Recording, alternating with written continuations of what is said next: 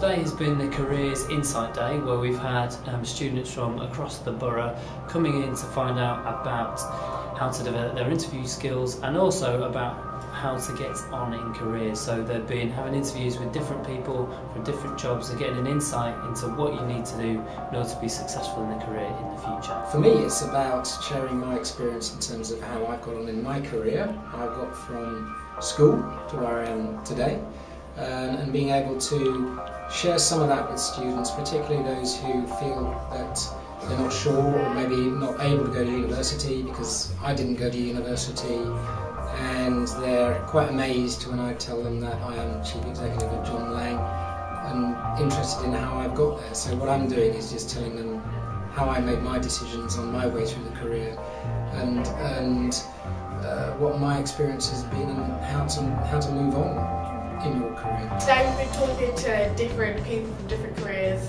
and different companies um, and asked them about how they got to where they are now. This is a careers fair where we've been able to talk to a lot of people who work in companies and run apprenticeships or have been part, taken part in apprenticeships. So it's given me an insight into what I could do after six months. It's really helpful. It actually provides us with lots of like knowledge and information about how outside world, world works and industry. If you don't enjoy something, then don't do it. So it's good to have like passion behind what you're doing. I'm not sure about what I want to do in uni, but from doing this, it's given me some sort of ideas of what I really want to pursue in the future. It's basically you're in a room, loads of volunteers, and you just have to like go to other people. And at first it's a bit daunting because you don't really know them.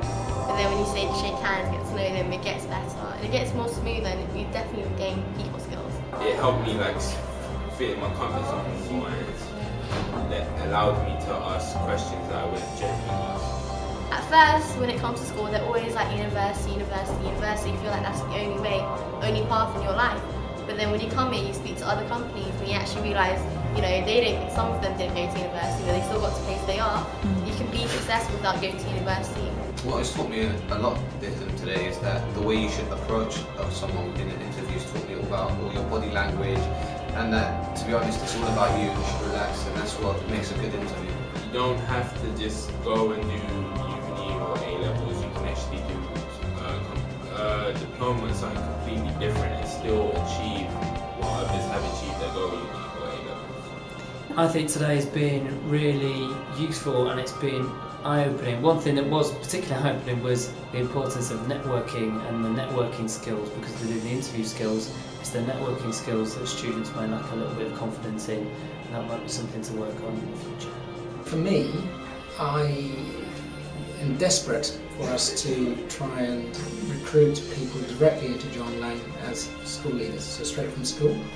And what this does for me is it shows me how they're thinking, um, and it's really spurred me on to go back and say, yes, we are definitely, I'm going to go back with a specific objective of recruiting my two school leaders.